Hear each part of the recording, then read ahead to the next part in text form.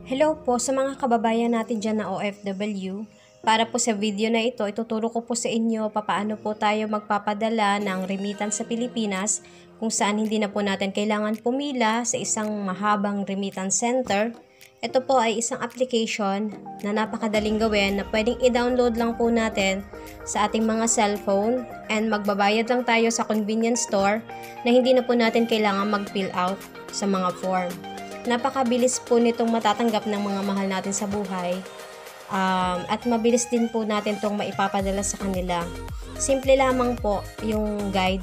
Panoorin niyo po yung video ko para ma-guide ko po kayo. Bago po tayo mag-start, please subscribe to my channel po para po dun sa mga kababayan natin um, na para mas mabilis po nila ma-download yung application na ito, ilalagay ko po yung link sa baba po ng aking description box.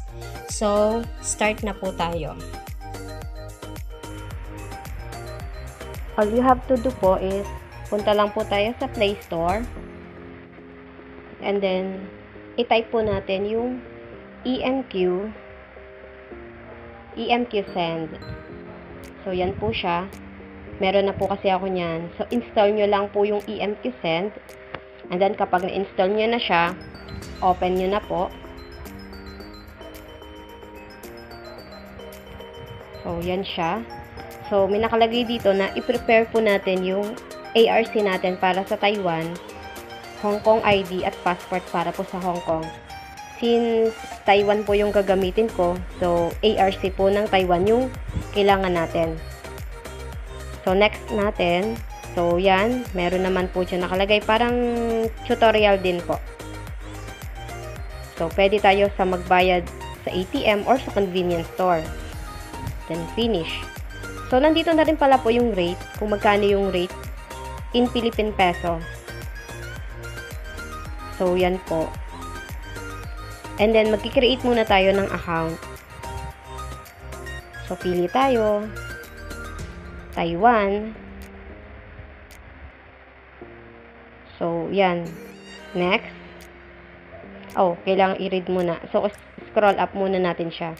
So, kailangan natin i-click yung agree. So, next. So, yan na po yan. Yung username. Kung ano yung username na gusto nyo, kahit ano naman po. So, yung password, pinaka-importante, confirm your password, and then yung text, yung number nyo. So, kasi may magte-text po dyan para sa verification. Dito naman sa referral, kung wala naman po nag-refer sa inyo, okay lang po. And then, So, yan. So, yan po. Yung kailangan ID. ID. So, hindi ko na po siya mana-next kasi meron na po akong account. So, pag natapos niya, basta follow nyo lang po yung instruction. So, yan. So, magla-login na lang po ako dun sa account.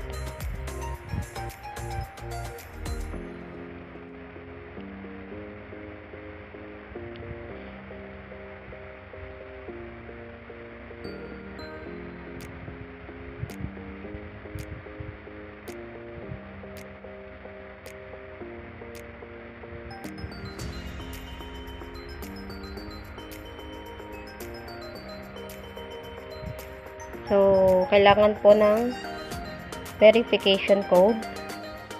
So, i-input na po natin yung verification code.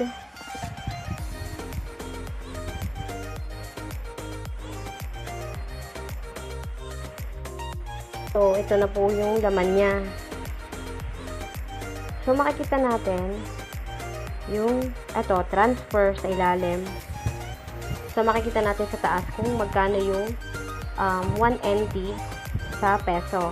And then, nandiyan yung recipient. So, nandito po yung recipient kung sino yung padadalhan nyo. Um, click natin natin yung add sa taas. And then, add a recipient kung taga saan yung padadalhan natin, kung nasaan sila. And then, yan, nasa Philippines, dahil nasa Philippines, so yan lang, yung info nila. So, lagay natin yung first name. Yan. So, and then, Okay. So, lagyan natin ng, um, eto po, payout option. So, payout option, kung saan natin, kung saan nila um, ipipick up yung ipapadala natin. Like, pwede sa bank. So, yan. Kung anong bangko.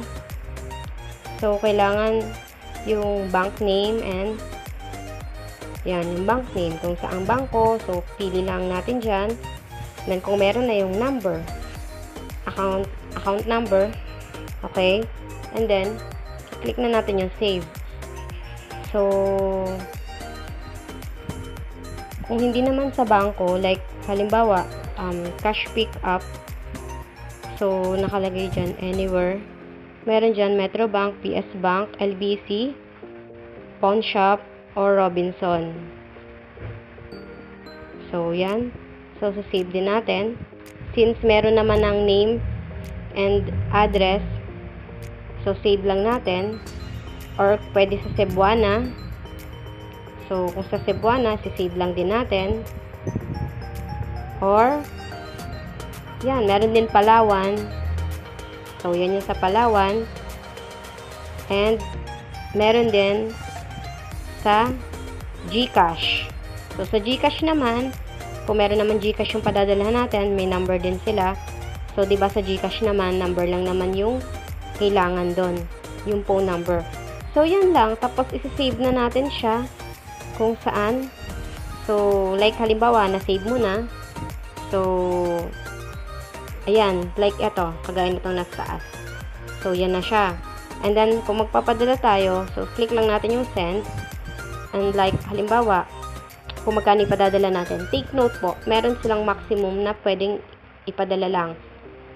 So, dito, sa NT, is like 30,000 NT.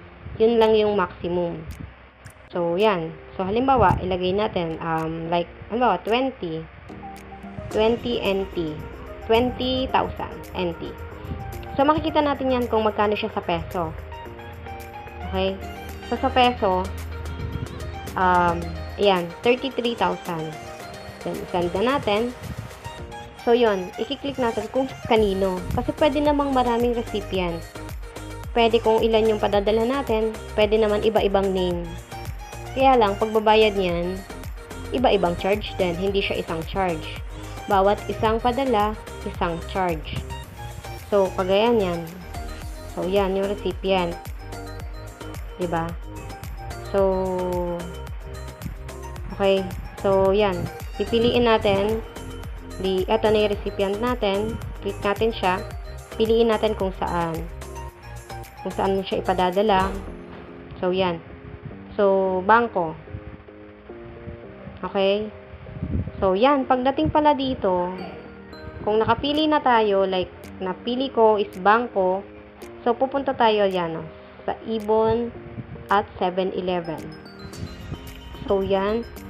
And then, makikita mo dyan na nagpadala ka ng 20,000, then ang marireceive ng um, recipients mo is 33,000.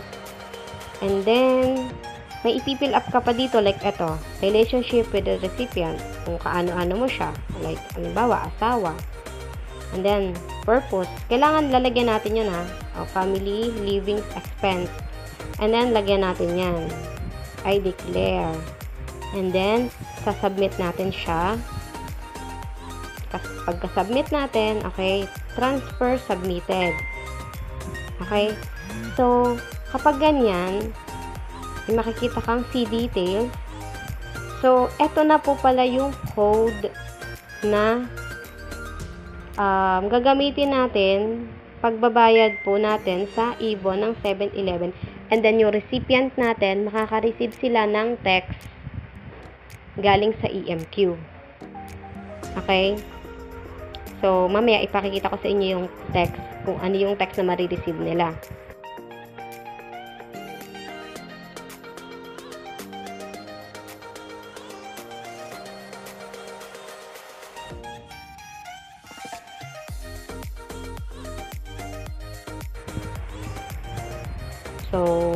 Yan po.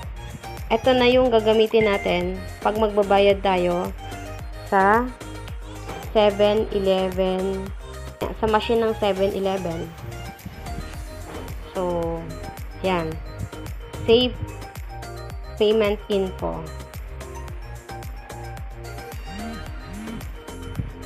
Okay.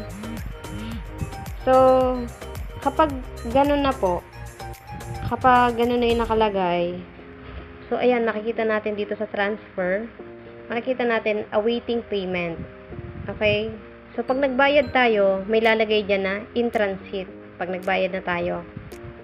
Okay. So, yung pagbabayad natin, mamaya ipakikita ko po sa inyo. So, kapag nagbayad na tayo, magiging in transit na siya. And then, kapag talagang fully paid na tayo or nakapagbayad na tayo and then nakapag na-receive na po yung pera, so magkakaroon ng um, note dito na completed na. So, meaning, nakalagay din dyan, your recipient has picked up your transfer. Thank you for using EMQ, EMQ Send. So, kung paano naman po natin gagamitin yung Ibon machine, so, eto po, ituturo ko po sa inyo. Just keep on watching po. Okay, ganito po yung paggamit ng Ibon machine. Pag magbabayad na po tayo ng payment. So, una po, um, click natin yung nasa upper left natin. And then, pag na-click na natin siya, yan, mapupunta tayo Diyan, sa um, ganyan po. Kasi hindi ko siya mabasa kasi Chinese siya. So, pwede siyan sa dalawa, kahit alin dyan. So, try natin yung una. Yung, pag kinlik natin siya, enter natin yung 14 digit, and then, siguro, click yung nasa ilalim, then siguro, proceed yun. So, kapag yung isa naman yung kinilik natin, yung nasa right niya, so, pwede, um, ilalagay lang natin yung cellphone natin doon sa ilalim. So, parang babasahin na niya yung code. And then, pag nabasa na niya yung code, so, click lang din natin yung nasa ilalim to proceed. Siguro next din yun. Okay? So, yan na. Lalabas na yung confirmation details. I-double check natin kung tama. Kung tama naman po yung um, uh, lumabas na kung how much yung ipadadala natin. And then, i-click na natin yung um, yung red. Siguro yung red na yun, yun yung next ulit. And then, may mapiprint out po dyan na resibo. So, wait natin yung resibo na yon and then dali natin sa 7-Eleven sa counter and then doon na po natin siya babayaran.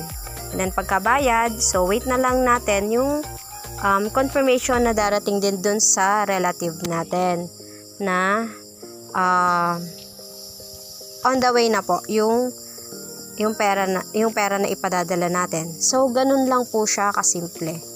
So sana natutunan, may natutunan po kayo sa pag-share ko sa inyo ng paggamit ng EMQ Send. So thank you so much for your time and have a good day po. Ingat po tayo palagi.